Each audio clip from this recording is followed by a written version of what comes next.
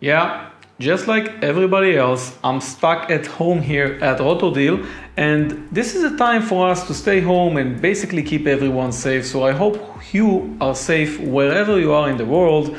And uh, for me, as just a guy who reviews products, this is a good time to stop reviewing these products that basically take me outside. And that's why today we will look at something indoors. And this is the new Asus screen that I got. Basically, it's a time for me to upgrade all my gaming gear. And if you remember my other videos, I already reviewed a 49 inch curved gaming monitor from Asus. And this is actually my second one. I returned the 39 inch so I can have this one, which is 35. And I'm gonna tell you during this video if I like this Downgrade or upgrade, more or not?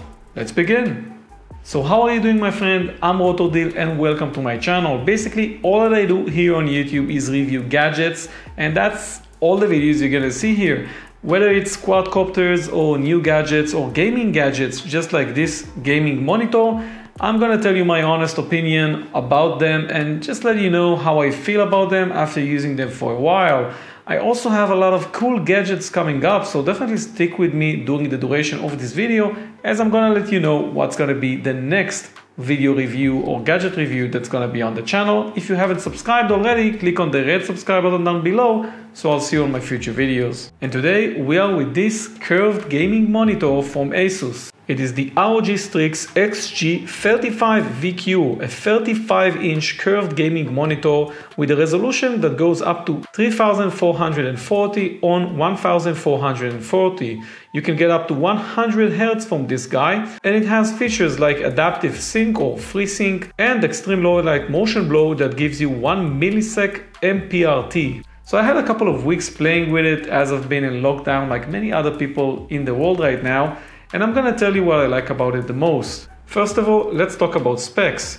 I love the image resolution on this curved monitor. It's basically great to put two windows side by side. The UWQHD is really good when you talk about 35 inch monitors. It just gives you a lot of space to work with. When gaming, you get up to 100 Hz of refresh rate, which is good enough for all your gaming needs, especially the gaming needs that I need it's not a competitive one, but it gets the job done. But probably another good reason for you to get this monitor like I did is the Asus Eye Care program. The Asus Eye Care program really helps you play for a long time or use your monitor for long hours because Asus are really aware of the prevention of CVS, which basically are problems that you gain while gaming or looking at monitors for a long time. First feature for the Eye Care is having the blue light control or the blue light filter control that goes up to four levels high. That means that if you are sensitive to blue light or if you really care about your eyesight, you want to switch and crank that up to number four. I also have my own glasses here that basically prevent blue light and uh, having a monitor that does that is especially great because I'm protecting my eyes. Another feature for the Asus Eye Care is the reflection free screen. That means that basically when you have a light source high above or down below, you'll see less reflective lights on the screen and that really helps when you're looking at the monitor for long hours. The Asus monitor also is flicker free with dynamic adjustments of the monitor's backlight that prevents flickering. That's really useful because looking at the monitor for long hours, if it, if it does have flickering, is something that's going to cause your eyes to become really painful or tired. And the last thing is that the design of the monitor is really ergonomic. You can really change it so you can feel really comfortable when playing. That means that keeping the 50 centimeters length away from the screen or monitor is going to be really easy with this guy as basically it can be tilted or changed in a way that you'll be really seated correctly while using this monitor. By the way, Asus has its Eye Care lineup in other monitors. This is just one example of that. Another thing that I liked about this monitor is that it has great controls. There's basically a joystick here behind the monitor. When pressing on it, you'll be able to see all the settings that you have on the monitor itself.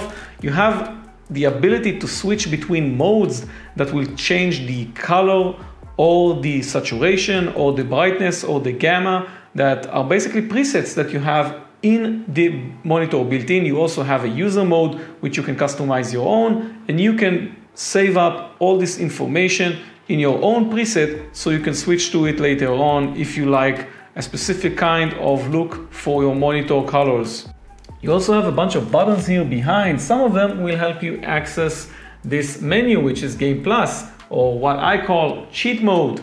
In this menu, you can basically enable things like a cursor or other options like an FPS counter or even show a timer on the monitor itself that will let you know how much time you have been gaming. I think that is, that is really useful. I actually have been using that while playing Kingdom Come Deliverance. I know I was cheating, but in the end it got the job done and I was uh, man I, I, basically improved my skills in the game so I like that a lot and you have it in other Asus monitors and you definitely have the Game Plus over here also. This monitor also has a ton of RGB lights, whether it's the Asus logo on the bottom, which you can change basically by changing the lower plate, or looking at the circle that you have behind, you can basically see that we have different colors for that circle. We also have another logo here on top, but in the end, that circle is gonna be your Aura colors. You can change it with Aura Sync, which is the software you're gonna use from Asus to uh, preset the colors that you have on the RGB lights on the monitor.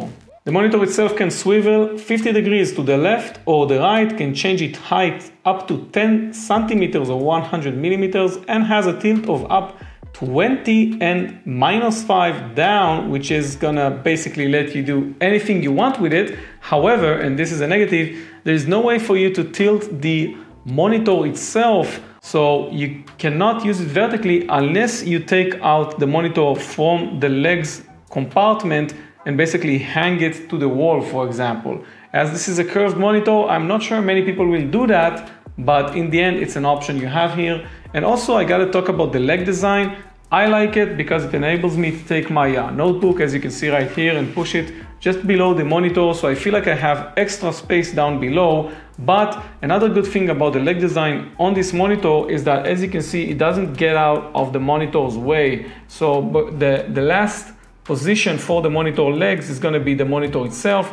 They are quite big, but in the end, this is a quite big screen or monitor. So you got you gotta have these huge legs uh, when having this kind of monitors. So if we look at the back of the monitor, you'll see that we have a lot of ports. Basically, we have two HDMI ports. One of them is going to be V2, the other is going to be version 1.4. We also have a USB hub, basically with USB 3.0, and uh, two ports are going to be out and one is going to be in. We also have one display port and also an earphone jack with obviously uh, the option to connect a power supply and power up the monitor. Cable management is gonna be really easy with this monitor. You're gonna have all the cables running through the monitor itself. There's basically an opening and then you can get that uh, mouse cable or keyboard cable through that opening and have everything neatly organized um, for you under the monitor itself. So before I end things up, I just want to let you know that the next review that's going to be on this channel is for the new Xiaomi GTR watch.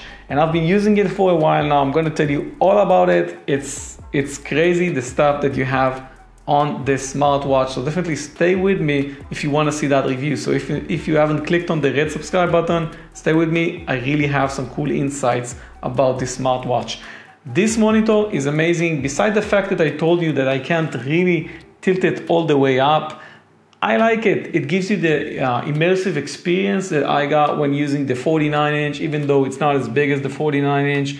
But still, I really feel like if you are half a meter away, you feel you are in the game. I really like the aspect ratio of 21 by 9. It feels really good when looking at the monitor and playing games. The graphics are usually um, they they are not too it's not too wide like like I had with the 32 um, aspect ratio, which was insane, by the way. If you haven't seen that review, check the I button above.